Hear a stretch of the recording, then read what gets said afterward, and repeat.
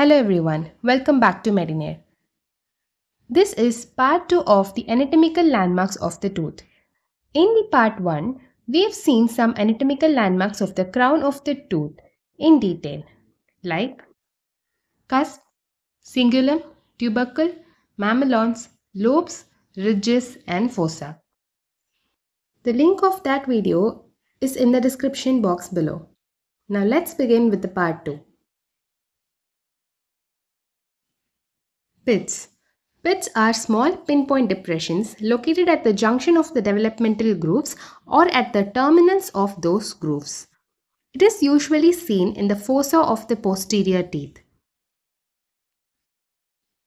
The pits are divided into various types according to their location such as central pit, buccal pit, lingual pit, mesial and distal pit.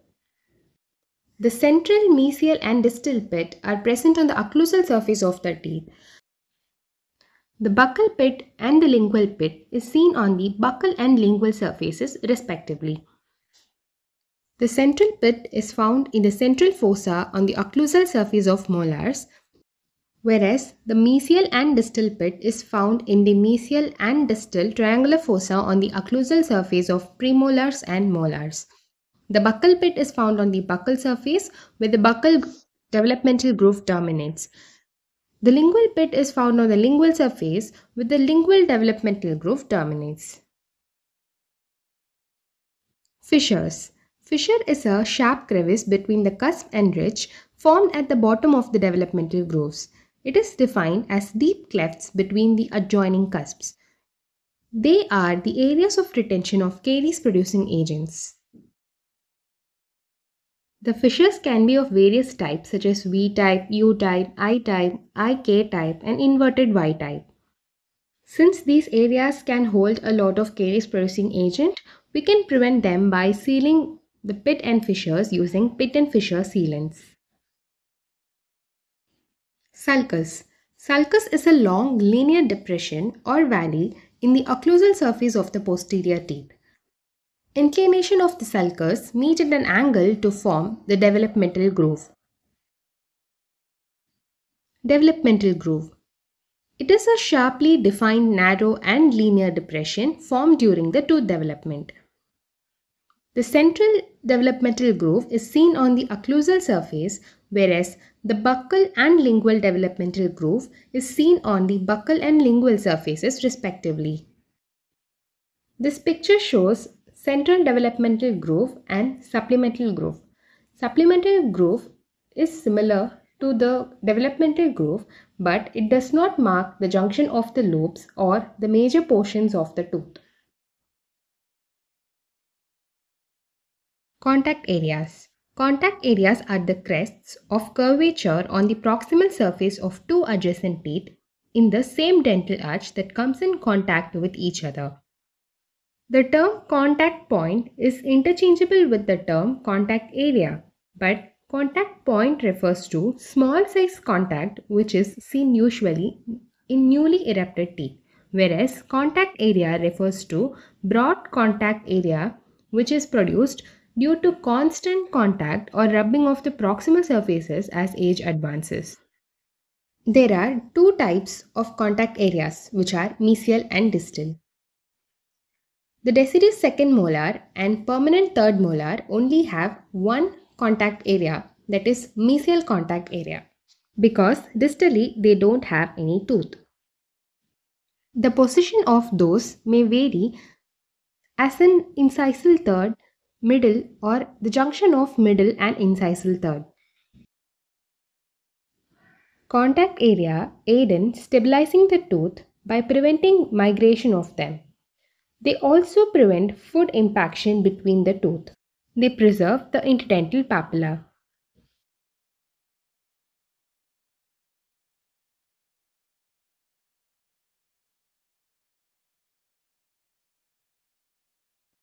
interproximal spaces. These are spaces that are triangular or V-shaped. They are present cervical to the contact area. It is a triangular space where the apex of the triangle is formed by the contact area of two teeth, base is formed by the alveolar bone, The sides are formed by the proximal surface of the adjacent teeth. We find interdental papilla from the gingiva in this space. In case of gingival recession, the interproximal space transforms into a cervical embrasure as the interdental bone and the interdental papilla do not fill up that space. Embrasures Embrasures are V-shaped spillway spaces or triangular spaces.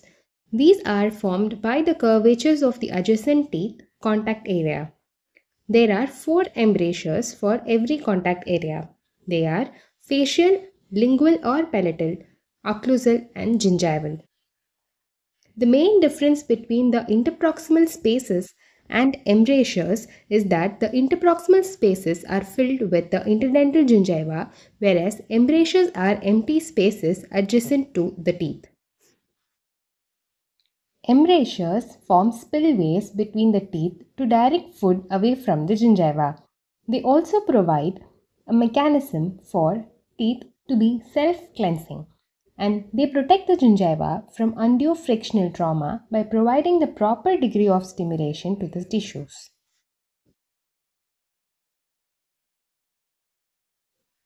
We have completed the anatomical landmarks of the crown. Now let's move on to the landmarks of the root. We have apex, apical foramen or accessory foramen, root trunk and furcation as the landmarks.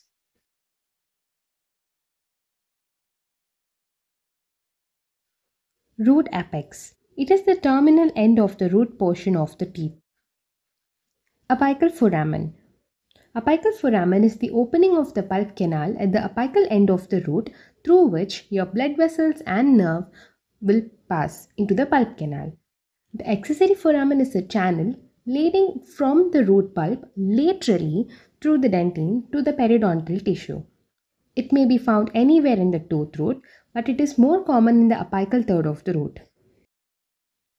Root trunk is seen in the multi-rooted teeth, where the undivided cervical portion of the root is called the root trunk. Furcation. In multi-rooted teeth, we can find the division of the root that is termed as furcation. If the root is divided into two parts, it is called bifurcation and if it is divided into three parts, it is called trifurcation. That brings us to the end of the video. I hope you guys liked it. Thank you for watching.